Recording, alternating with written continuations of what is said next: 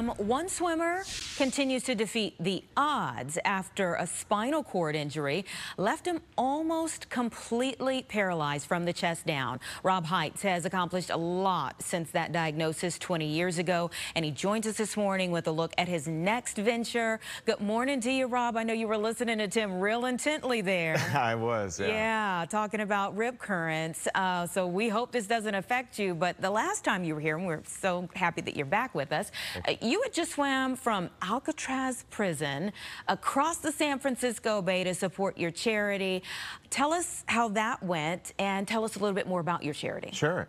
Yeah, the swim was great. Actually, uh, the the currents weren't that bad. It sounds like the currents might be worse tomorrow, mm. but uh, uh, yeah, it was a brisk, about an hour swim, and uh, I had a lot of people out there supporting me. It was it was fantastic, really exhilarating. Yeah, walk us through. Uh, you know, if you're doing a, a journey like that, like when you get up in the morning, kind of walk us through your day. Yeah, uh, so I did my best to sleep the night before. That was a really important part, a challenging thing. Um, and then in the morning, just kind of, uh, you know, getting a sense of what I'm about to do and trying not to freak out about it. Yeah. Um, I had a lot of friends and family, so honestly, I was more concerned about making sure that everybody was having a good time and knew what they were going to be doing. So uh, that and making sure that the conditions were going to be okay because it was quite foggy, and I didn't know until really uh, you know, minutes before we were going to swim whether or not it was going to be possible because wow. if, the, if, the, fog rolled in, you know, they wouldn't be able to see me and they would cancel it. So. Wow, you have new challenges this time. Yeah. What have you been up to since that journey? Uh, well, we've been working on a documentary film actually for the past two years or so. There are a couple uh, studios in Chicago, local studios, Motion 66 and mm -hmm. Vantage Point Visuals, that have been working with um, to tell the story of my recovery and uh, ultimately culminating in the, uh, the Alcatraz swim. Really, the goal is to demonstrate the capacity of the human body and the human mind mm. to recover because I think you would never believe, and I wouldn't have thought before I had the injury that it was possible for someone to be quadriplegic mm -hmm. and actually recover from it.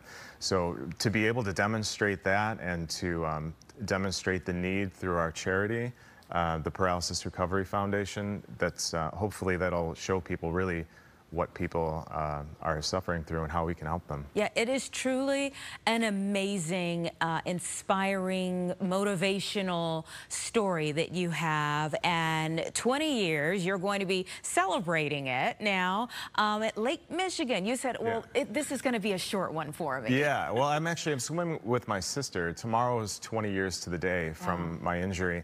And she and I just decided that we were going to go for a swim in the lake and uh, she doesn't open water swim, so it's probably going to be a little bit more challenging Ooh. for her than for me. But she was there with me caring for me. She actually took a year off of school when I had my injury to be wow. at my bedside every day. And so she's been through me with this journey, and it's really going to be exciting to be able to spend some time in the water with her. And hopefully yeah. people will come out and see us. What an incredible bonding uh, yeah. that you all will be doing in the water together with, with this momentous occasion. So 11 a.m. in the lanes leading out of Ohio Street Beach, Correct. is that right? Yeah, yeah, and along the lanes you can walk, you can run, you can roll, you can bike. Uh, so it's a really beautiful part of the city. The skyline is gorgeous from that angle. And uh, yeah, we're going to be there for about an hour in the water and then maybe have some lunch afterwards. Nice. Be a nice time. Okay. I'm sure people hear your story all the time and they're thinking, how can I support this charity? Absolutely. What do they need to do? Well, uh, briefly about the Paralysis Recovery Foundation, you can, uh, you can learn more about us at paralysisfoundation.org. Uh, but we support um, nonprofit organizations that provide therapy to people who are in this long-term stage of recovery. Most people, they get 30 days of inpatient, mm. maybe 30 outpatient visits, and pretty much insurance says, okay, now go home and learn how to be paralyzed. Wow. Um, and so we want to help those people to hopefully recover to some degree, as well as I've been fortunate enough to. And so we raise funds to help support them in their journey. And hopefully they have, uh, you know, better outcomes. Well, thank you for what you do. Thank you for sharing your story. And we so appreciate you being back. Good luck tomorrow. Thank Make you sure so much, you Anita. check on those conditions in the morning. yeah. yeah. Should be exciting. okay.